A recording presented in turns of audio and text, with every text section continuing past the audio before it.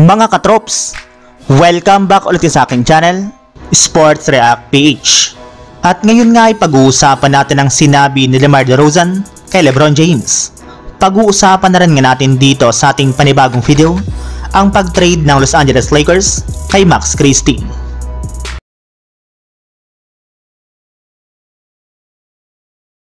Gusto pa rin nga po talaga mga katrops na makuha ni Lamar DeRozan ang kanyang kauna-unahang kampyonato sa kanyang karir sa NBA.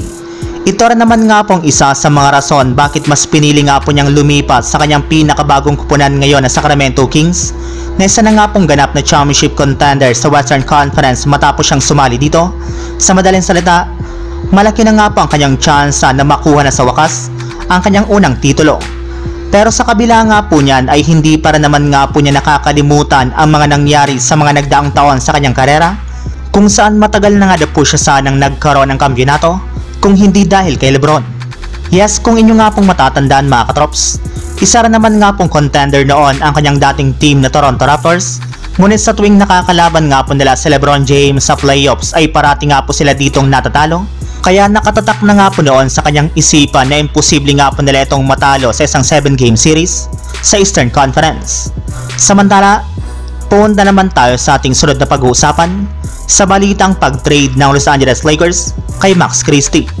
Isa nga po mga katrops sa mga naging prioridad ng Lakers ngayong offseason ay ang pagpapanatili ng ilan sa kanilang mga players Kagaya na lamang ni Max Christie na binigyan pa lamang nga po nila ng bagong kontrata na umaabot ng mahigit sa 4-year $32 million dollar contract since malaki para naman nga po ang maya ambag nito sa kanilang kupunan sa susunod na season. Ngunit marami para naman nga pong tumutol sa pagbibigay ng Lakers sa kanya ng bagong kontrata. Gayong dahil nga po dito ay wala nga po silang nabuong bakanting pwesto sa kanilang lineup na siyang magagamit nga po sana nila sa pagkuha ng bagong manlalaro sa free agency market. Malinaw rin naman nga po na wala itong masyadong naiaambag sa kanilang kupunan lalong lalo na sa kanilang mga mahalagang laro. Kaya nagiging liability na lamang nga po siya ngayon sa kanilang kupunan.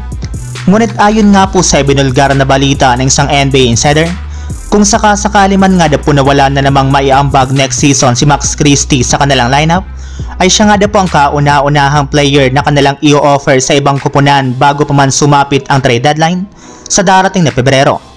Yes, tama nga po ang inyong narinig mga katrops.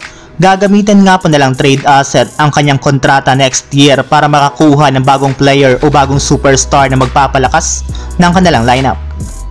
So yun lang mga katrops, ang handog kong story ngayong araw. Sana nag-enjoy kayo, please like and subscribe my YouTube channel, Sports React PH para sa iba pang story at update patungkol sa NBA. Kita-kits muli sa ating susunod na video.